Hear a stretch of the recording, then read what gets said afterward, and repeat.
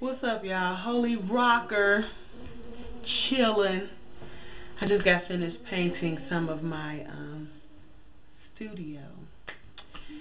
And um, I'm posting up another video now. And I was just thinking, like, I really haven't posted anything um, serious in a while. And, uh, you know, sometimes when you, life is happening, you just want to chill but like the video that I'm posting now, I'm on there smacking with a Snickers bar and, you know, singing a little bit. But um, I love the song that CeCe Winans sing. Holiness, become a sign out, so Lord. I love the song. Anyway, um, what did I want to say to you all? I don't know really. I wanted to get on here and talk a little bit. Um, I just want to, I do want to talk about, you know, God and being a Christian and really following Christ. And Christian is not just a title, and um, it shouldn't just be a title. It should be like a lifestyle because we are patterning our lives after Jesus Christ, who is God. And only reason why that he was manifested in the flesh, which he hates. So he did something that he put on something that he hated for you and for me. But um he did that he manifested himself in the flesh for us as a, a perfect example so that we may have no excuse in living holy. And, you know, with me, like I'm going, I was going through like the hardest test in my life, and I'm, you know, still going through it. It's, it's up and down. In the valley, you can still have mountains and valleys. So, um, you learn how not to always beg God to take you out of the test, but communicate with God to change you in the test.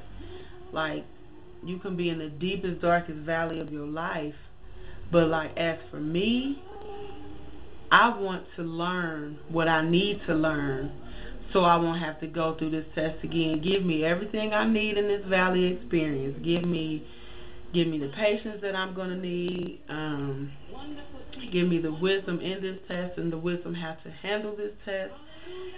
The patience, the knowledge, everything. God give it to me so I don't have to go through it again. So I've learned to stop asking the Lord Jesus to take me out of the test, but give me what I need in the test so that I may be effective in the kingdom of God and be effective in this earth because we are not just living and going through things just for ourselves. We're living and going through things to help others, to pull others out of the out of the mud.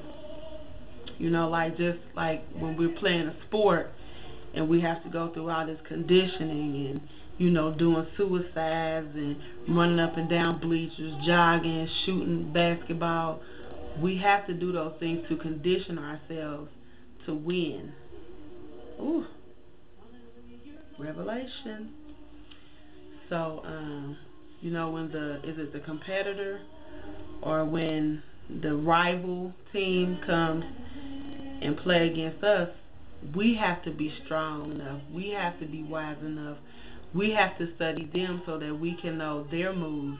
And the same, you know, with those who have the Holy Spirit. We have to know our enemy's moves. We have to know what he knows about us and how he attacks us so that we can dodge it and then launch launch a um, counterattack and get him so that we can survive and that we can pull others out of his hands that have gone through the same thing. And we can tell them, baby, you can make it because I made it. So, uh, that I got paint on my hand, my arm. Um, I just wanted to, you know, say something a little serious for the moment, and you know, I will be back. And oh, I know what I wanted to say. Let me see how much time on here. Hold on. Okay, that's about almost five minutes. Okay, real quick. Um, I was dating this guy, and I had asked him, you know my sisters, they was, oh my God, I love them, but woo, I wanted to punch him in the face. But um, like I had texted him and told them that you know me and him we're gonna you know take it a step further and like be exclusive. So they was talking about you don't even know him spiritually, and you said that you wanted a worshiper and a praiser, and you know I did, but I guess sometimes when you've been alone by yourself um, for so long, it's like okay, then this he must be it. You know what I'm saying? So. Um, anyway, I went through a whole bunch of texting with my big sis lady. Anyway, and you know she did make some points, and then I had um like you know text the dude back, and I was like, well, before we take it real, real further, you know, get deep, I need to see more of your spiritual life. So he texts me back. I don't know why you need to see this and and you struggling because I had told him, you know, a couple things that I was going through in my valley experience, and he threw it back in my face, basically, and said that I was struggling, and he don't see why he needs to see, he doesn't see why I need to see his spiritual life. Well, duh, that's why I need to see it.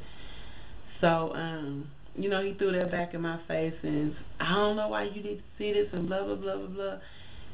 So I went like a day without talking to him, and then he gonna text me like on Friday, and start talking to me like everything was cool. So I said, you know what, I got to cut this off, and um, cause no, I mean, so I said all that to say, ladies, do not accept a man that is spiritually lower than you yeah. I'm going to say that. I'm not saying the Bible says that. I'm saying that for me. He supposed to be the head. I'm going to need you to be, you know, higher than me. Um, I'm going to need you to be a worshiper and a praiser, a Bible studier, intercessor, you know, all them things. So don't just accept anybody because I almost did. And you know, God would have moved him out of my life eventually. But listen to God and, uh, yeah. Don't just accept any man because he was cute. but just because he cute don't mean he can pray you through a storm. If you can't pray me through no storm, we don't need to be together. Don't be unequally yoked. And that's that's even with those that have the Holy Ghost. All right. Holy Rockers out. I love you all and tell people about me. So, you know, they can send me stuff and I can talk to them. And, you know, when I have my talk show, you know, I can invite them on and be like, so you you send me an email and we're going to talk about this. Blah, blah, blah. So, okay, I love you all. Holy Rock and Route. Peace.